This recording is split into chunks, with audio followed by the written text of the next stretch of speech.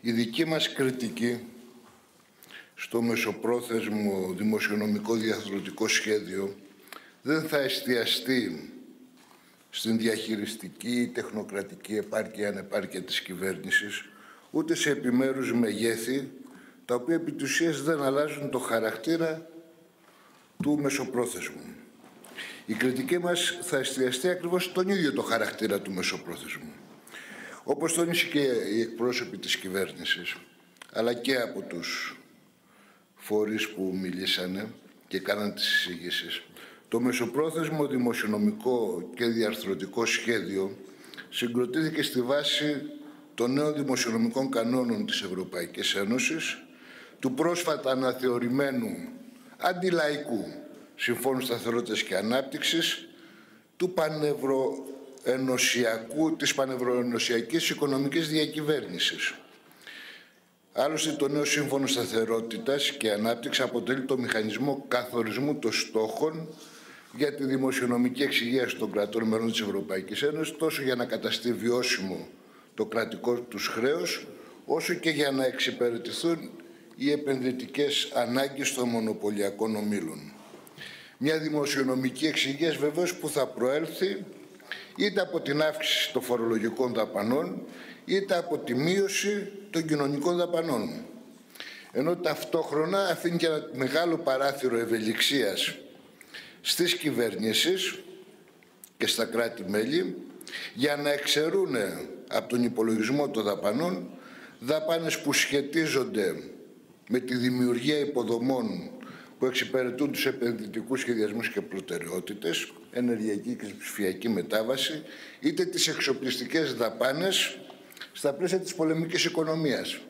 Εξοπλιστικές δαπάνες που η Ελλάδα κάνει όχι για την προστασία των κυριαρχικών δικαιωμάτων της χώρας μας, αλλά για την ικανοποίηση των ε, ευρωατλαντικών υπεριαλιστικών σχεδιασμών. Το μεσοπρόθεσμο πρόγραμμα για την περίοδο 25-28 περιλαμβάνει αισιόδοξες προβλέψεις για την πορεία μεγέθυνσης του ΑΕΠ και υποβαθμίζει ταυτόχρονα τους κινδύνους που μπορεί να προέλθουν είτε από τη γενίκευση των υπεραλιστικών συγκρούσεων στην ευρύτερη περιοχή, Μέση Ανατολή, Ουκρανία, είτε από την πρώτο θυρών εκδήλωση μιας νέας καπιταλιστικής κρίσης. Επισφάλεις βεβαίως και αβεβαιότητες που δεν σχετίζονται με μια ακαδημαϊκή συζήτηση αν θα πετύχει ή όχι η κυβέρνηση τους στόχους που προβλέπεται για την αύξηση του ΑΕΠ, αλλά εάν δεν επιτευχθούν αυτοί οι στόχοι, τις επιπτώσεις τις οποίες θα έχει στα λαϊκά στρώματα. Από τα δημοσιονομικά μεγέθη που περιλαμβάνει το μεσοπρόθεσμο, προκύπτει αβίαστα το συμπέρασμα ότι ο λαός μας θα συνεχίσει να ματώνει για τη δημιουργία των πρωτογενών πλεονασμάτων στα πλαίσια της βιωσιμότητας του κρατικού χρέους πρωτογενή πλονάσματα ύψους 2,4 με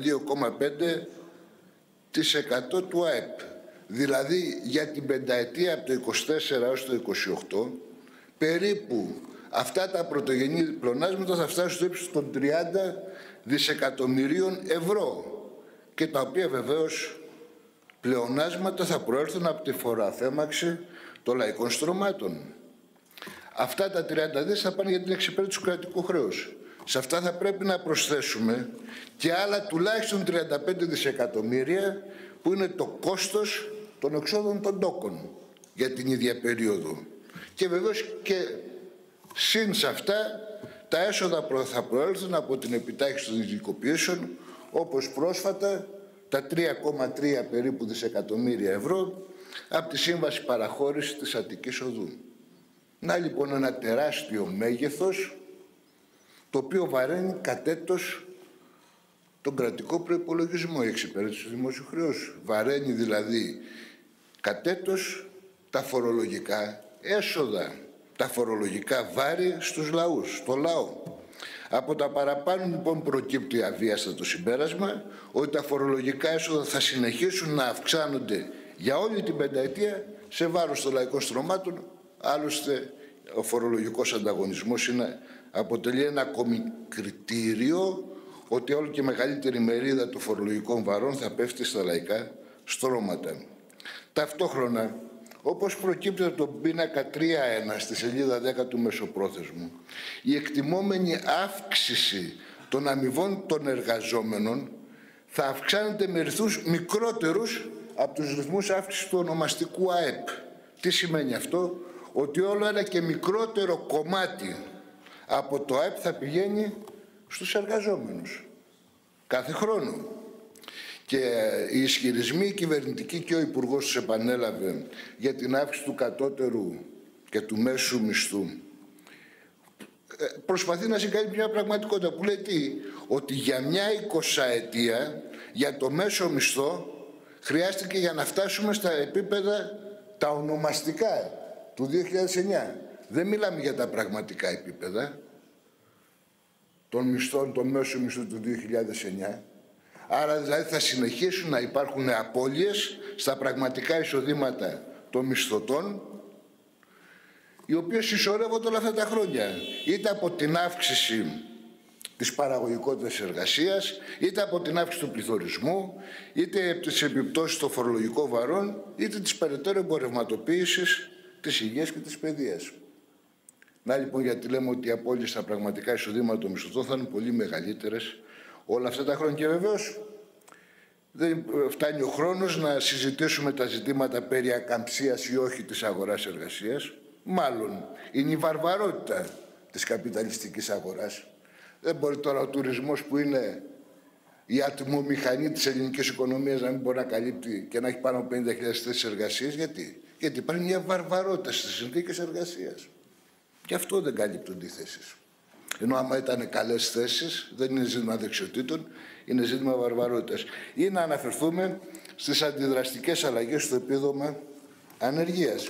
Όσο δεν αφορά τις κοινωνικές δαπάνες, αυτές θα παραμείνουν ουσιαστικά παγωμένες. Το πολύ πολύ να καλύπτουν τον πληθωρισμό. Δαπάνες όμως οι οποίες δεν καλύπτουν τις τεράστιες ανάγκες και έλλειψεις. Αυτό άλλωστε προκύπτει και από το ρυθμό ετήσιας μεταβολής των καθαρών πρωτογενών δαπανών. 3,7 έως 3% μέχρι το 2028, όπως ανάφερε και η εκπρόσωπη της κυβέρνησης.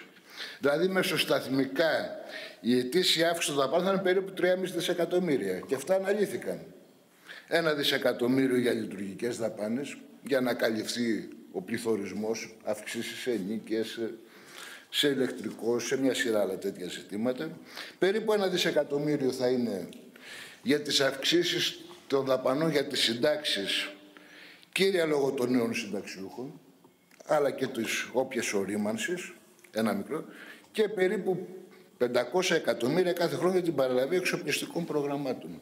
Με συνέπεια να μένει περίπου ένα δις. Με αυτό το ένα δις τι θα καλύψετε; Τι θα καλύψετε με αυτό το ένα δις από τις τεράστιες ανάγκες. Τίποτα. Που είναι και αμφίβολο αν θα είναι αυτό, γιατί για να μην υπάρξει και καμία αυταπάτη για ενδεχόμενη χαλάρωση, γίνεται ξεκάθαρο ότι τόσο σε περίπτωση υπέρβαση των δαπάνων αυτές πρέπει να αντισταθμιστούν από μέτρα αύξησης των φορολογικών εσόδων, όσο και σε περίπτωση υστέρησης των φορολογικών εσόδων να αντισταθμιστούν από αντίστοιχες μειώσεις των δαπανών.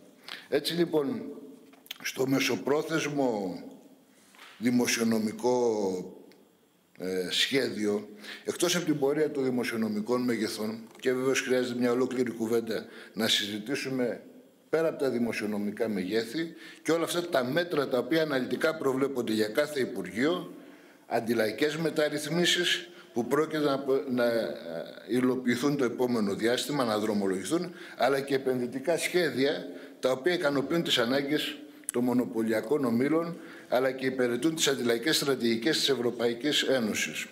Εμείς βεβαίως, ως ΚΚΕ, δεν πρόκειται να εξοραίσουμε την Ευρωπαϊκή Ένωση.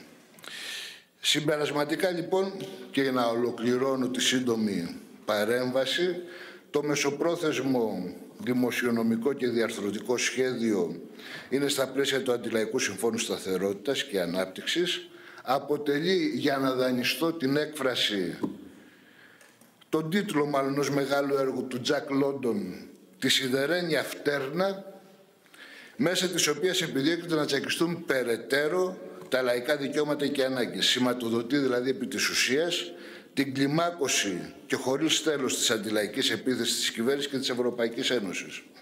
Γι' αυτό και το Κομμουνιστικό Κόμμα Ελλάδας απορρίπτει, είμαστε απέναντι και δεν προσπαθούμε να τετραγωνίσουμε τον κύκλο με διάφορες διαχειριστικές προτάσεις που κινούνται εντός των τυχών της ευρωενωσιακής πολιτικής. Γι' αυτό ακριβώς το λόγο και καλούμε τους εργαζόμενους χωρίς αναμονές και αυταπάτες να οργανώσουν την πάλη τους όπως το κάνουν ήδη στοχεύοντας τον πραγματικό αντίπαλο. Ευχαριστώ πολύ κύριε Πρόεδρε.